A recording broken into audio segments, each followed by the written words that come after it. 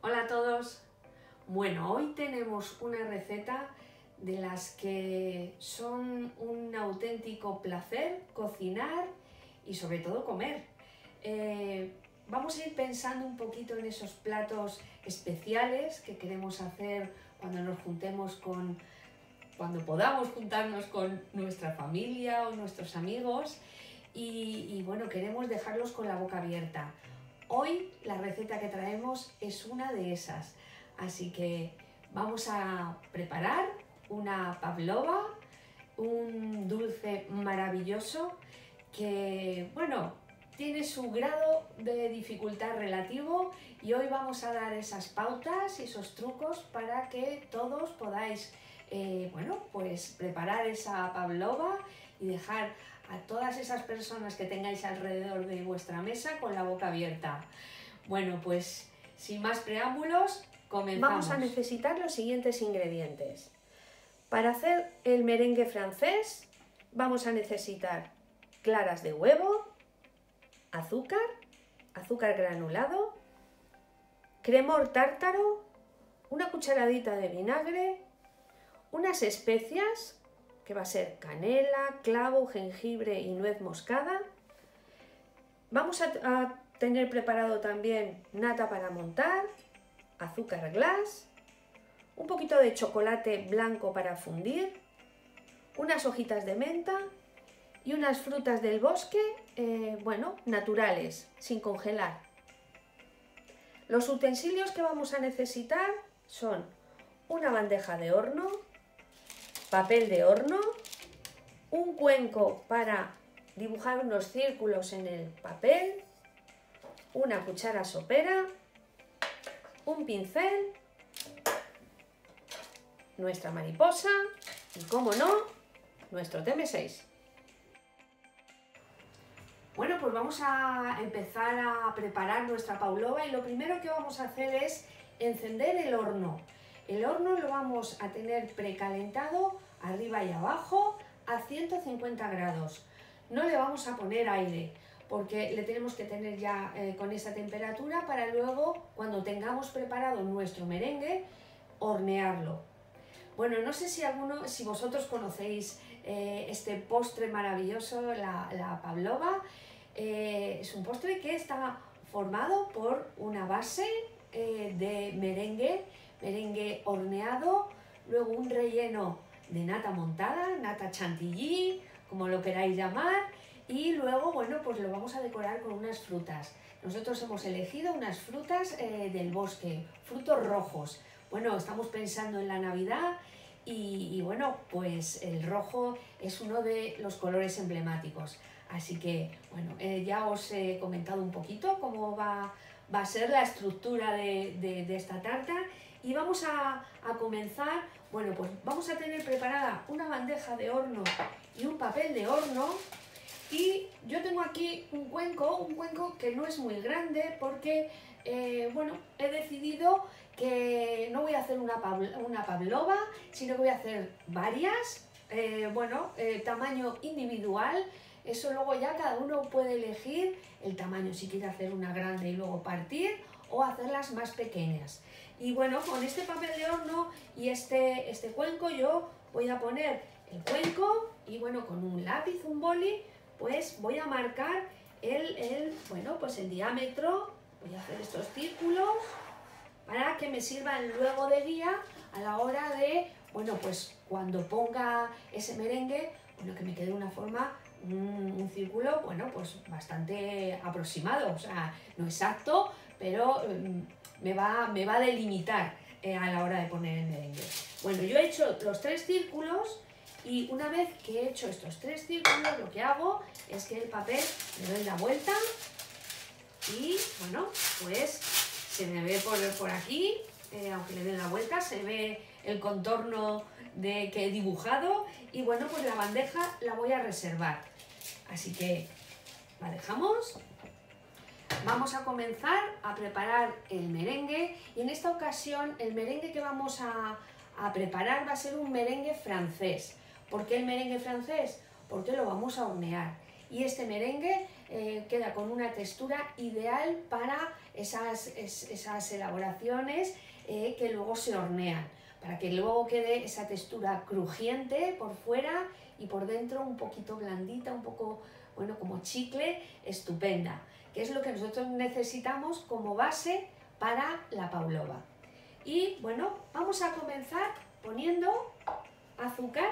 Tenemos aquí azúcar granulado y lo vamos a añadir. Y este merengue lo podríamos aromatizar pues con vainilla, por ejemplo, pero en, la receta que viene en Cookie Dough se aromatiza con, con unas, unas especias, unas especias con un aroma fantástico que le va a dar un sabor muy característico. Le vamos a poner canela, un poquito de nuez moscada, jengibre en polvo y eh, unos clavos de olor. Como yo no tenía clavo en polvo, lo que voy a hacer es lo voy a añadir al azúcar para pulverizarlo todo junto. Así que lo añadimos y ponemos el cubilete y bueno, vamos a ponerlo durante unos segundos.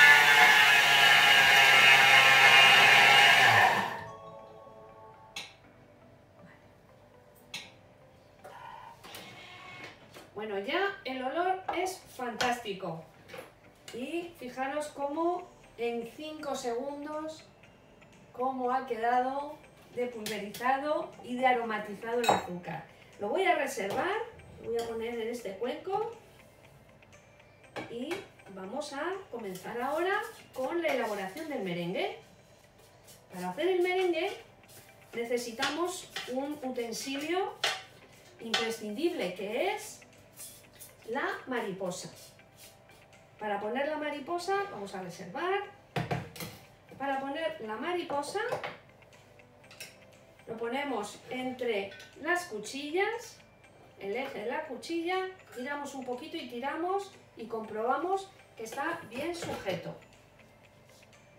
Bueno, vamos a poner claras de huevo. Eh, podemos utilizar, bueno, pues separar claras de yemas y, eh, o, y no, o eh, comprar claras pasteurizadas. Yo recomendaría que si queréis utilizar claras pasteurizadas por no estropear tanto huevo, que no se estropea, esas yemas luego las podemos utilizar para cualquier otra elaboración, para una tortilla, en fin, multitud de, recetas que podemos utilizar sobre las yemas, pues si queréis utilizar ese tipo de claras, mezcléis, mezcléis eh, claras de, huevo, mm, de huevo, huevo, separadas, y, y, luego añadir un poquito de clara de las que se compran, de las pasteurizadas. ¿Vale? Esto es algo personal, no viene en la receta. Bueno, pues le vamos a poner ahora un poquito de cremor tártaro. Es un polvito blanco, parece levadura química. ¿Y el cremor tártaro, para qué me sirve? Bueno, el cremor tártaro, pues como os he dicho, le va a dar esa estabilidad y, y bueno, es estupendo para poderlo hacerlo de antemano y que me quede ese merengue bien firme. Bueno, ya sabéis para qué se utiliza el cremor tártaro. Vamos a tapar el vaso y vamos a ir, vamos a programar. ¿Cómo vamos a hacer un merengue? Vamos a programar cuatro minutos, le vamos a poner calor, el calor justo, más que calor es, una es templar, lo vamos a poner a 37 grados y como tenemos la mariposa puesta, nunca vamos a, superar la, la velocidad 4. En esta ocasión si nos vamos al 4 y vamos a ir avanzando en la receta. Bueno, pues pasados estos primeros 4 minutos, bueno, vamos viendo cómo el merengue, os lo voy a enseñar, va perfecto, todavía no está acabado. Y lo que vamos a hacer ahora es otros 4 minutos a 37 grados Quitamos el cubilete y es el momento para ir añadiendo el azúcar. El azúcar que acabamos de eh, pulverizar y aromatizar. Así que continuamos. A velocidad 3.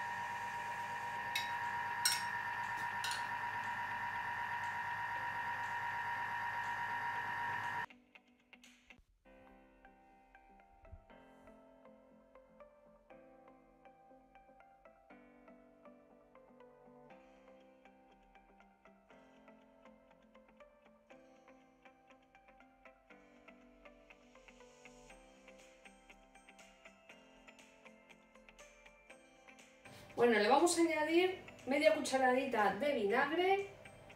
Yo le he añadido un vinagre de frambuesa que tenía. Y le ponemos la tapa, el cubilete, mejor dicho. Y vamos a mezclar 15 segundos.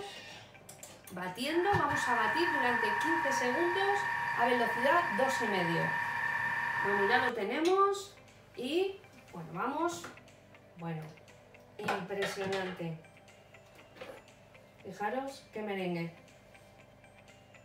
Vamos a quitar mariposa. ¿Veis estos picos? Eso es lo que indica que el merengue está perfecto. Así que vamos a ir sacándolo.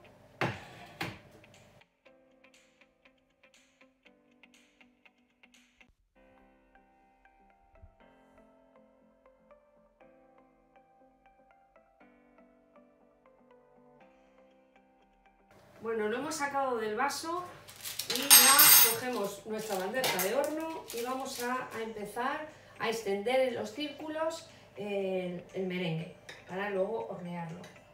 Vamos a ir poniendo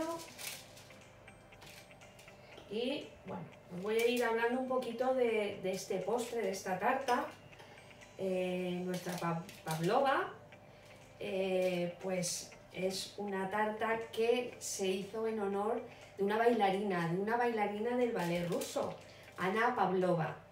Y bueno, pues su origen eh, se lo disputan tanto Australia como Nueva Zelanda. No está muy claro dónde fue la primera vez que se hizo este postre. Y, bueno, eh, ahora vais a ver cómo yo estoy poniendo en estos círculos con una cuchara el, el merengue y creo que hasta nos puede recordar bueno, a una bailarina bailando. A la hora de extender, bueno, pues vamos a ir dando vueltas como si fuera una bailarina a, este, a esta mezcla que hemos hecho, a este merengue. Y lo que vamos a, intentar hacer es, bueno, como un nido. Vamos a, ¿veis cómo? Vamos a hacer, dejar como un poquito de hueco en el centro, vamos a rellenar un poquito más los bordes para que quede más forma de nido. Bueno, y fijaros, ¿no recuerda un poquito a los trajes de las bailarinas? Bueno, ya tenemos uno. Vamos a poner el otro que tenemos aquí. Bueno, esto es maravilloso. Es un postre, una tarta que se suele hacer, mm, aunque se puede hacer cualquier, en cualquier época del año, pues eh, se suele hacer mucho en Navidad. Se rellena con esos frutos rojos o con frutas tropicales, en fin, lo podéis rellenar un poquito con lo que queráis.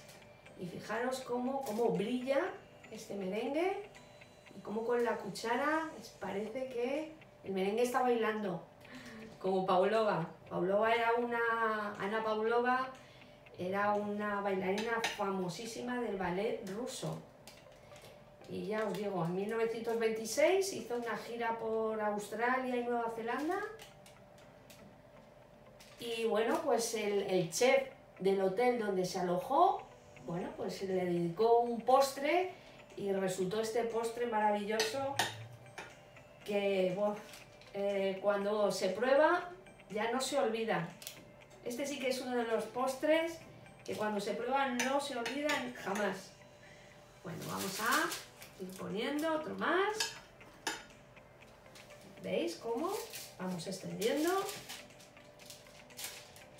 Y vamos dejando un poquito como de hueco, porque luego lo vamos a rellenar con la nata. Un poquito lo vamos extendiendo hacia el borde para que quede más gordito en la zona exterior Y bueno, pues lo más complicado de este postre, porque el merengue con nuestro Thermomix, TM5, TM6 o TM31 es facilísimo, lo hace todo eh, el Thermomix. Eh, lo más complicado quizás sea el horneado de, eh, de este merengue. Como os digo, es un merengue francés. Vamos a poner el último. Y todavía nos sobra merengue. Fijaros la cantidad de merengue que nos sale. Un poquito más.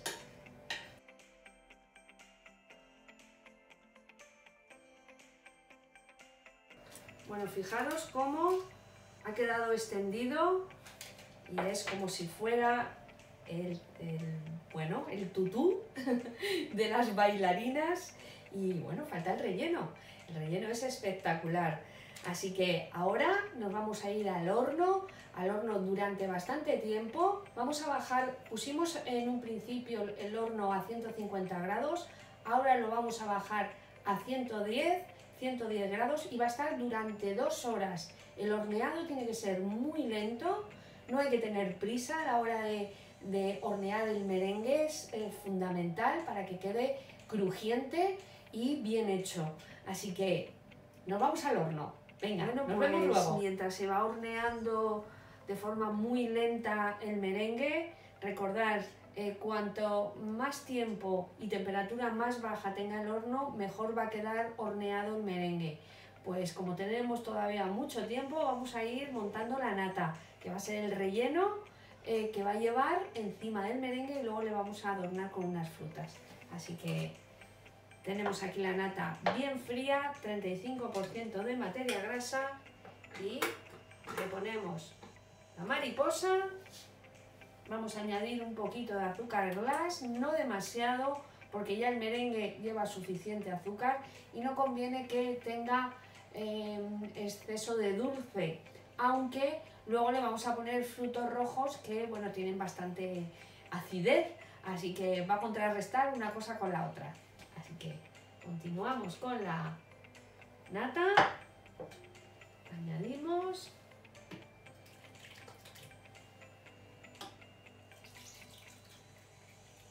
Y como sabéis, cuando eh, vamos a montar nata no programamos tiempo, estamos pendientes del vocal para ver eh, cuándo está montando y será el momento de parar, el, el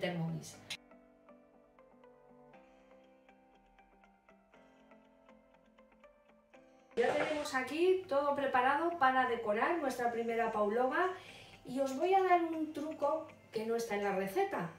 Y es que, bueno, eh, la paulova eh, se puede tener preparada de antemano lo que es el merengue horneado, pero justamente antes de servir es cuando tenemos que montar con la nata y con las frutas. ¿Por qué? Porque la nata va, va a ablandar ese merengue y bueno, va a quedar como muy chicloso y muy...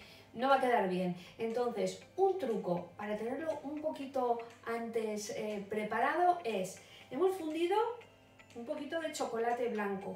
Entonces, bueno, lo que vamos a hacer con un pincel, vamos a dar un poquito bueno, vamos, es como si fuéramos a impermeabilizar un poquito lo que es la base donde va a ir la nata.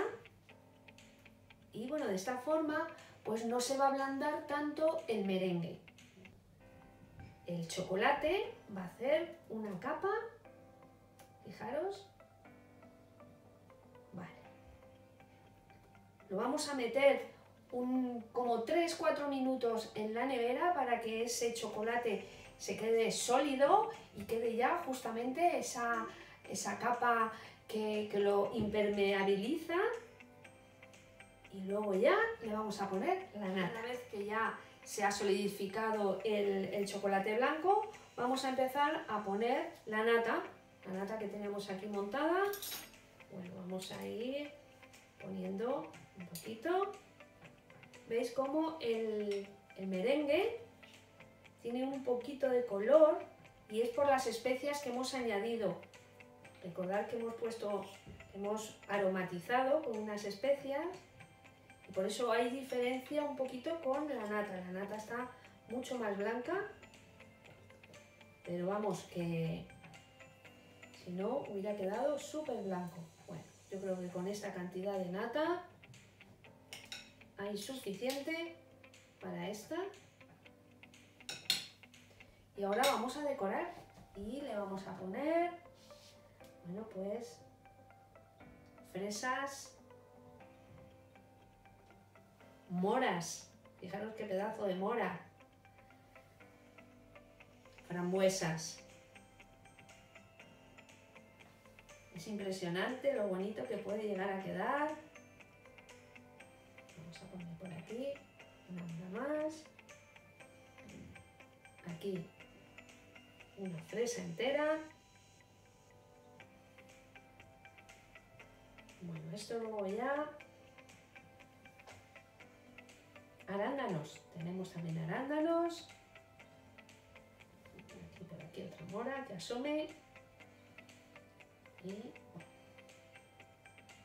las frambuesas. Otro trocito de fresa por aquí.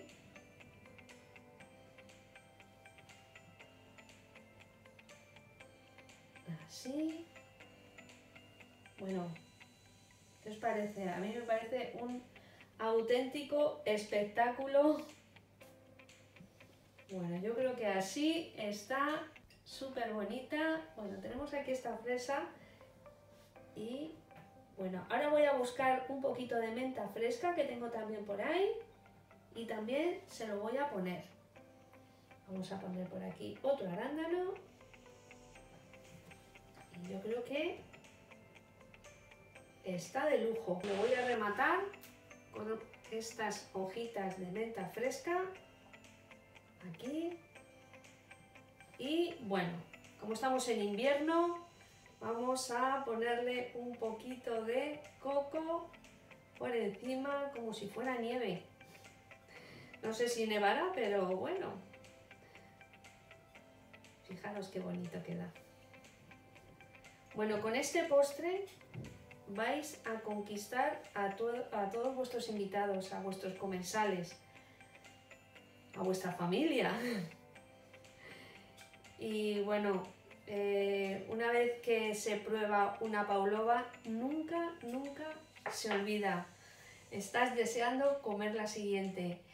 El primer bocado, ese crujiente del, eh, merengue, es espectacular esa mezcla del ácido de las fresas, los arándanos y, las frambuesas con el dulzor, tanto del merengue como de la nata, bueno, es una maravilla. Así que es el postre perfecto para terminar cualquier, eh, bueno, cualquiera de vuestras comidas o cenas que vayáis a hacer en este tiempo, en este tiempo de Navidad y bueno, eh, bastantes cosas malas hemos tenido durante todo este año.